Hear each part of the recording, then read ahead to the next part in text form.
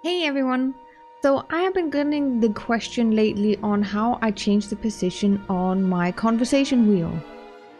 This will be a short little tutorial on how to do that and how to make changes in your UI in general to make it fit your needs. So to start this off, what you can do is you can start by clicking the little plus on your already existing UI.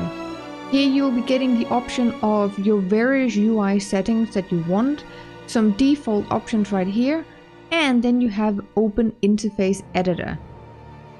Another way to do this is of course also just press escape and then you will also have a button right here that says Interface Editor.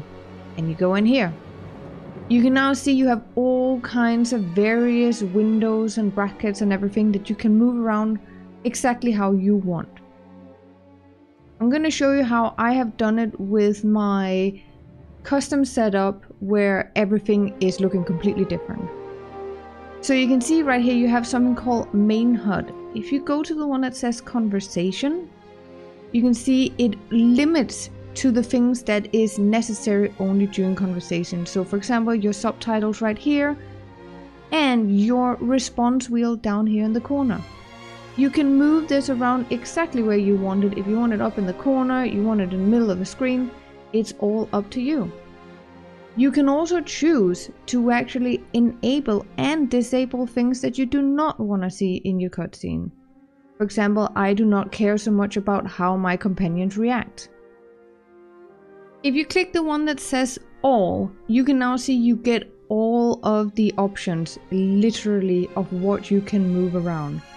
It feels very overwhelming because there are so many of them, so I do recommend to go to each individual one and changing it how you want it to be. Fiddle a little bit around with it, figure out what works best for you.